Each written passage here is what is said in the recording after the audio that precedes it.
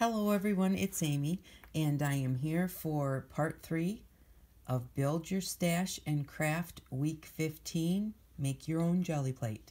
And part 3 is going to be playing with our gelli plate. So this is the second time I've had to do this because I did the other one and it went for like 30 minutes and I can't upload 30 minutes. I have to do it in parts. So I have to start over. So I'll just show you kind of what I have collected out here. Um, a little spray bottle of water, my craft paints, some different lids and mark makers. I have some corrugated cardboard and some bubble wrap, my little stencils, the our foam stamps, my larger stencils. There's some of the ones I made earlier. I have our brayers here that do work great. And I have some junk mail, some of the first paper I got, some of the paper I got this week that's like newsprint, and some of our cardstock. So I'm going to put the phone up and we're going to start playing. Okay, I've got my camera up now. Here we go with take two. so, um, okay. Well, let's see. We've got our gelli plate. It's been 24 hours because I didn't get a chance to do it yesterday. There was just between all the, between dinner and lunch and snack and everything else. Um, I just didn't have time. So I've been so excited to try this with you. And I hope if you don't have a gelli plate, I hope you give this a try because it's so much fun. I'm going to use our medium-sized brayer, which on our medium-sized brayer, um, it is a little bit squishy, so I think I would put a couple more bags in there to make it a little more solid.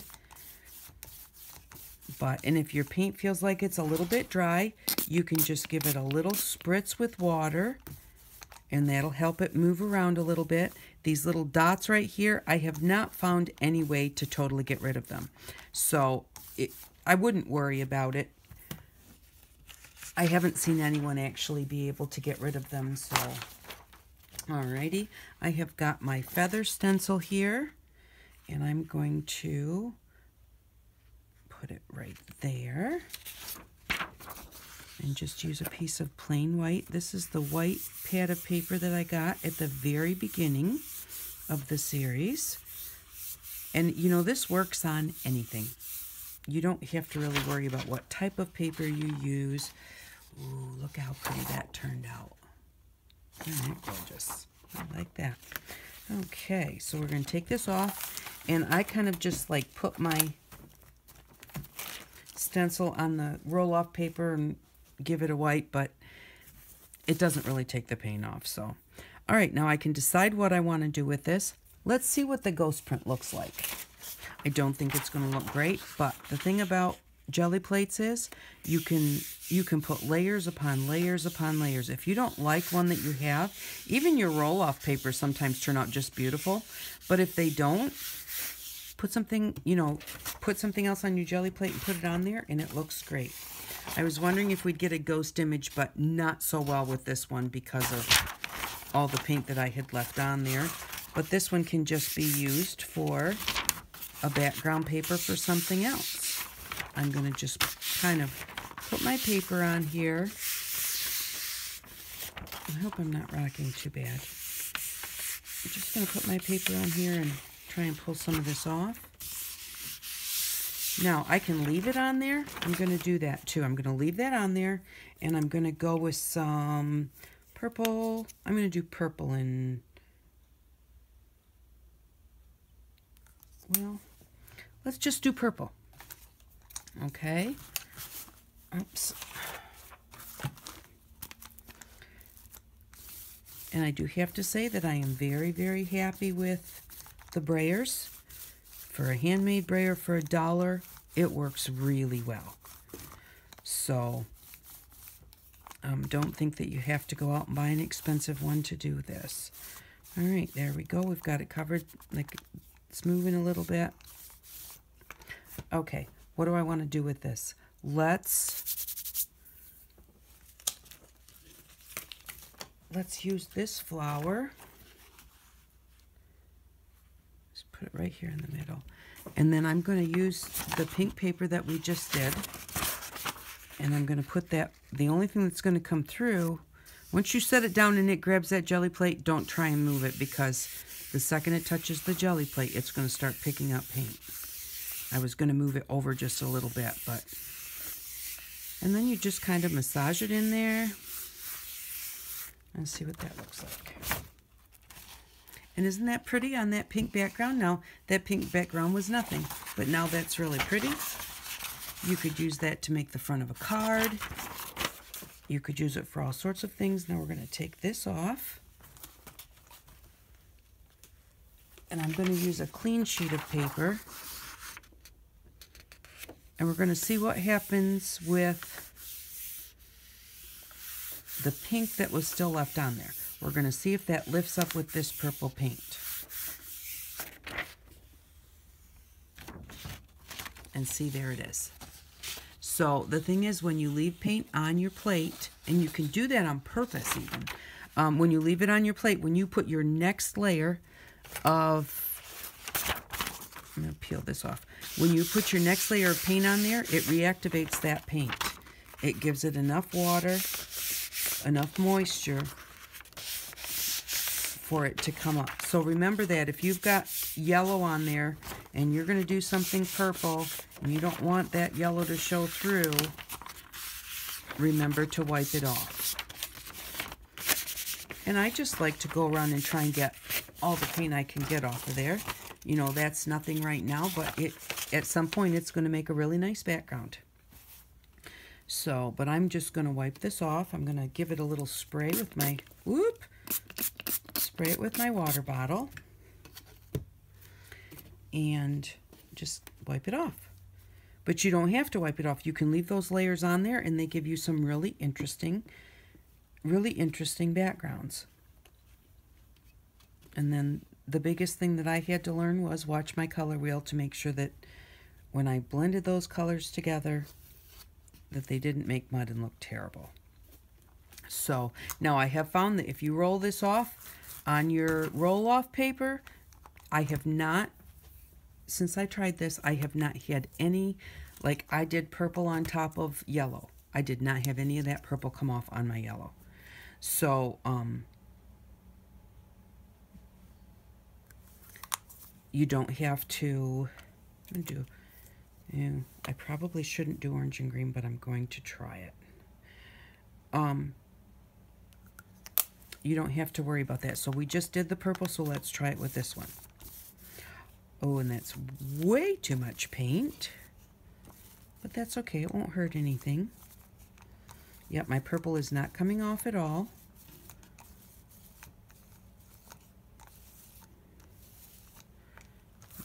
Wipe that off on my wipe off paper. Now I used newspaper for my wipe off paper today. And I don't think I would ever do that again because, let's try our leaves. Um, it's not, I thought it might look cool, and it will. I can use it for some kind of a collage, but it's not going to make a pretty background paper. And just massage it. Make sure that when you're using a stencil, you get down into, into those little spots. Don't push hard. Just massage it around. And that's what our leaves look like. Really pretty and take this off and we'll pull a ghost print from that and see what that looks like. Now the ghost print's going to be just the opposite. It should be colorful all the way around and light where those where I already pulled that paint off from the leaves.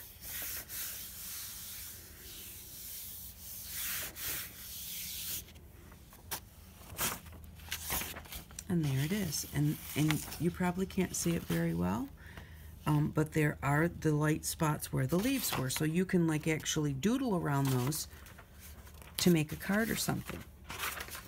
And we've still got quite a bit on there.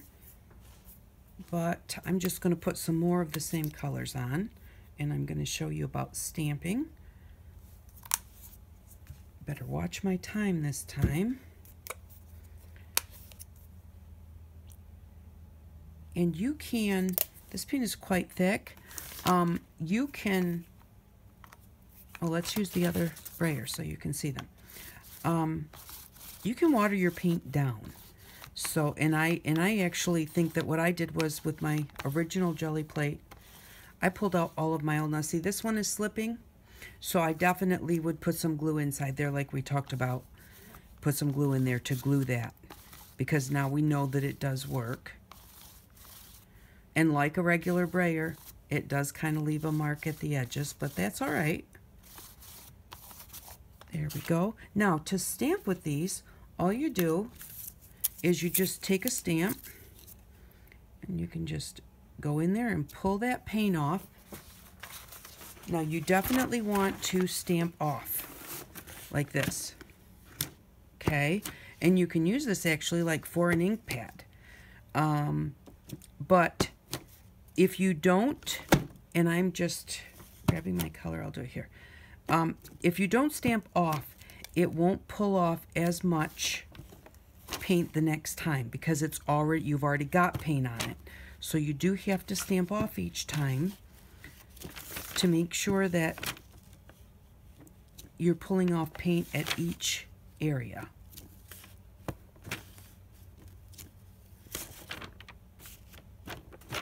There. Okay, so now we've done that. And we will grab a piece of paper. Let's use a piece of cardstock. Okay, I've got this cardstock here that we got earlier. I'm going to put this, I'm to put this right in the middle. Kind of in the middle. And just, you know, just give it a good rub. Make sure that you're making contact everywhere. And, you know, my problem is sometimes I can sit here and do this forever. Be like, what are you doing? Go to the next step. And there we go.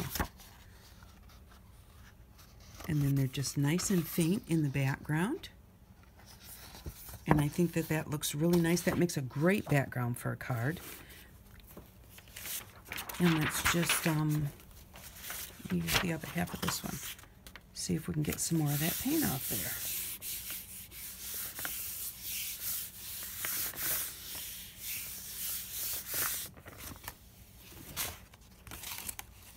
And actually that one looks better than the first one. So, and a lot of times you'll find out that your second print looks better than your first print. So I am going to upload this really quick and then I'll come back and we'll make marks. Okay, I'm back and we're going to use some of our mark makers now. So I'm going to just use some blue and some purple. Some blue some purple. And so the biggest thing is, you know, when you make these, don't get discouraged if you have some that you think don't look pretty. We're going to use our big roller now.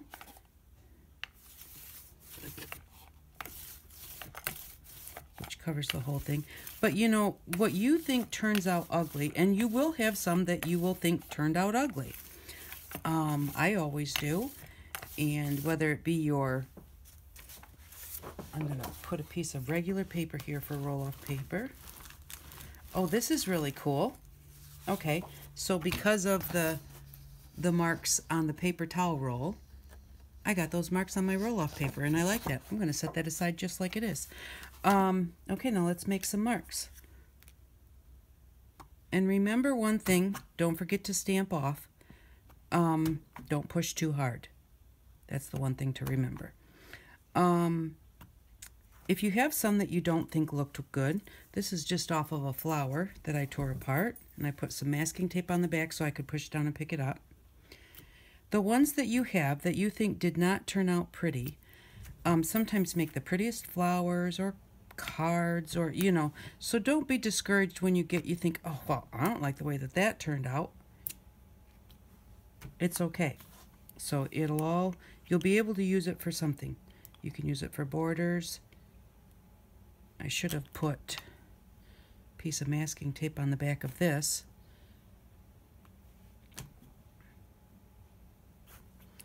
Let's do a bigger, let's do a little oval.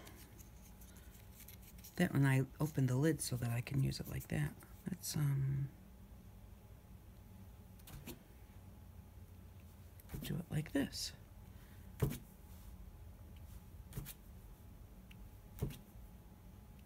And if you water your paint down, it doesn't dry as fast also, which is another nice thing. So let's do a couple of circles here.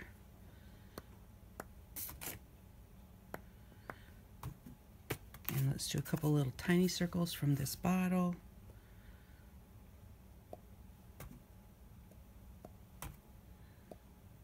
Those are much wider because of the lip on it. That's kind of cool. We'll put one in the center of some of these flowers. Okay, let's pull that off and see what it looks like. I'll do that on a piece of cardstock. I'm gonna go this way. Let me see how that looks. Yeah, so don't don't think that anything is don't ever throw any away. You never throw anything away. Um, you can always use it for something. So let's see what this one looks like.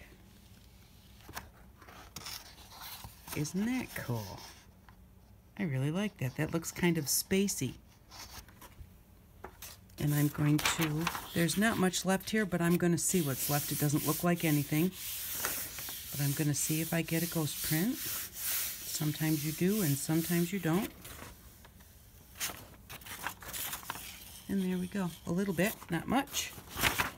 I'm going to use this paper to grab the paint off. And, excuse me, when you want to change colors, and you want to make sure that there's no leftovers, because the leftovers will come up with your next print, um, just use a wet paper towel and just go in and just wipe it off. I'm going to give it a spray because my paper towel is getting dry. You can use a baby wipe too if you have a baby wipe. I haven't had baby wipes in 25 years. Okay, well, I've had some for crafting, but I haven't had any for my kids. Let's do some pink and purple. But yeah, so this is just, it's really fun to play with. And I would love to see what you come up with. Let's roll that out.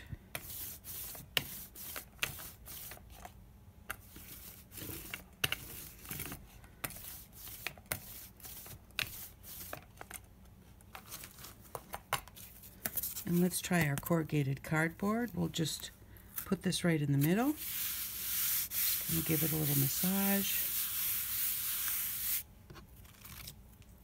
And then I'm going to use some bubble wrap. I didn't have any bubble wrap. Since we started this series, I hadn't got anything with bubble wrap. I was getting so disappointed because I don't use anything that I have not collected since this series started. And then just day before yesterday, my hubby got a package that had a little bit of bubble wrap in it. And then don't forget that you can use that to push onto another piece of paper. See? That turns out cool. Let's see what this one turned out like.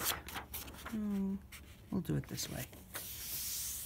And again, once that paper touches, you can't move it.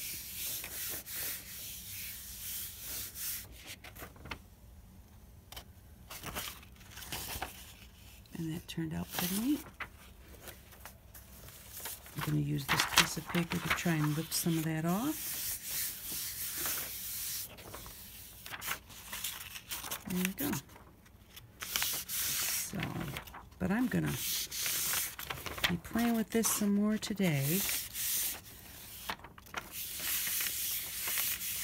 And I hope that I hope that you give it a try and have a good time.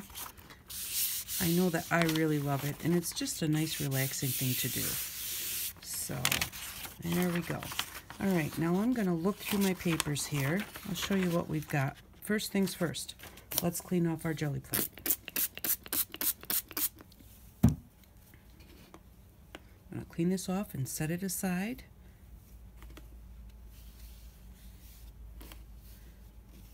Make sure you get the edges too. Otherwise your paint might turn kind of crusty and come off on your next project and you don't want that to happen. There we go. Now I would set this aside and just let it kind of sit a little bit to dry, I guess I want to say. Um, it's obviously not going to dry dry because it's a damp type thing, but and set it aside. Let it sit for just a little bit for that water that I just put on there. And then I'm going to put this on here, and that's how I'm going to store it away. I'm going to take it off for now. And let's see what we've done. So we have this one with our mark makers. And this one with our mark makers. This was just a roll-off sheet. Sometimes you get really pretty roll-off sheets. And then we have our flower where I showed you how if you leave paint on there, it will lift off with your next print. Got the feather is gorgeous. That would make a beautiful card. And our leaves. And you can cut these leaves out, cut them out and put them on a project. We've got this one where we used the little flower stamps to lift off some of the paint. And then this one turned out even better, and that was our second ghost print. We have this one, and we have this flower with this kind of where I put a bunch of extras, and then we have this one. So what I'm going to do is I think that this sheet and this sheet, out of everything, they turned out the worst.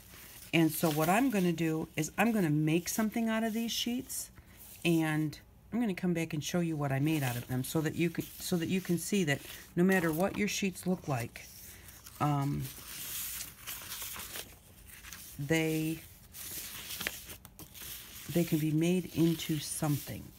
So, and if um, if you'd like, we're going to call this number one. I'll put a little one on here. And we're going to call this one number two. Put down here in this blank spot. And let me see what I had earlier when I had to, when I couldn't upload it. Because I had some there that, okay, we're going to call this right here. The feathers turned out beautiful. But we're going to call this number three.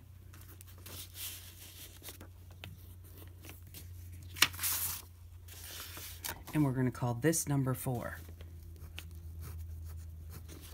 Okay, so if you would tell me which one you think is the least appealing, and I will make something out of it. So we have sheet number one. And I know you don't like, you know, you don't want to tell somebody, well, I think that your stuff is ugly, but I'm telling you, I think that these ones didn't turn out very pretty. So you tell me which one you think is the least pretty. So we've got one, two, three, and I'm not counting the feathers on that one, just that part, because the feathers are pretty, and four. So you choose one, two, three, or four. If you'd put that in the comments, which one you think is the least appealing, and I am going to make something pretty out of it. So that's that's that's what I would like to do. So thank you very much for watching. I really appreciate it. And I'm so happy with my pretty, pretty gelli plates. I am going to go and get together the stuff for next week, and then I will be back. Okay, I'm back, and what we're going to need for next week is this Max Patch Spackle, and this is from the Dollar Tree, and um, you can get it in any hardware store. It's at the hardware section of the Dollar Tree, and um, this is a really nice size because when I first started using spackle for texture, I went to Menards and I got, you know, like a tub of it. It, it wasn't huge, but it was probably like a quart size. And I used quite a bit of it and then got off to doing other things. And when I went back to use it again, it was all moldy. So this will go a long ways and it's only a dollar. So this is from the Dollar Tree for a dollar. And then I also, in the cooking section, I got this chopper scraper from the Dollar Tree. I like it because it's got this nice straight line with um with the ruler on it. We don't need the ruler for this, but I still like that ruler on there and I like the way you know that I can hold it like this instead of holding it like with something with a handle. If you don't like this holding it like this, you can get just um like putty spreaders or whatever at the Dollar Tree also in the same hardware section where you get this. So either one, you need some kind of a spreader and your max patch for next week. Now that's only $2. So for this week, use your extra $3 to buy things that you need. Um, I am, you know, look at what you've already got and pick up the things that you're running out of because like I am almost out of this glue. So I went ahead and I think actually I think two of my glues are empty and I only have one partway left.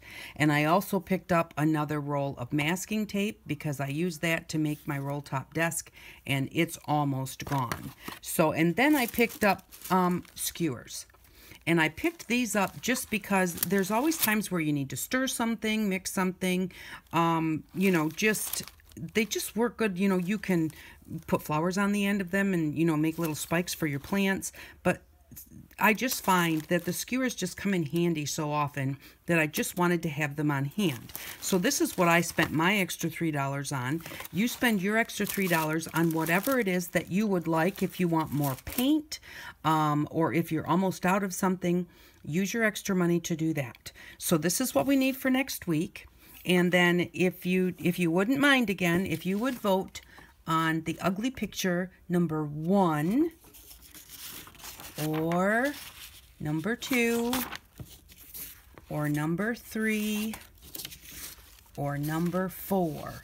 And I will go ahead, whichever one gets the most votes, I will make something pretty out of it to show you that no matter what your gelli plates turn out like, even if you don't like them, um, First off, somebody else may like the ones you don't like. But secondly, no matter what they look like, you can always do something with them, even if it's put something else on top of them. But I'm going to use these, and I'm going to make something which with whichever one gets the most votes. Well, I hope that you enjoy your gelli plate if you make one, and I hope that you enjoyed this video series, and I hope that you all have an outstanding day. Bye-bye.